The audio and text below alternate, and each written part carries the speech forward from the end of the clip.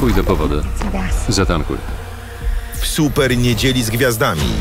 Chcę zgłosić zaginięcie żony. Tajemnicze zniknięcie. Musiał ją porwać. Zmienia wszystko w jego życiu. Gdzie ona jest? Co ty świrujesz, bydlaku? Jak daleko się posunie, by odkryć prawdę? Może pan otworzyć bagażnik?